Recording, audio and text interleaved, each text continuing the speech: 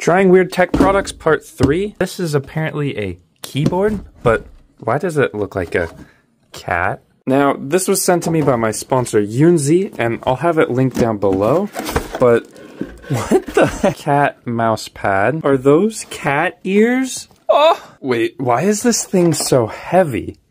Wait, removable? Now, for $80, I was not expecting much here, but I'm gonna be honest, guys.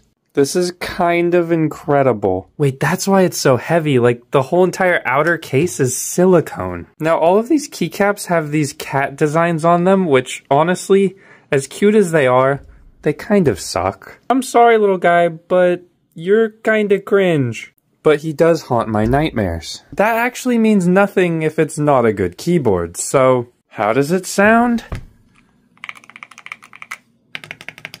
Wow,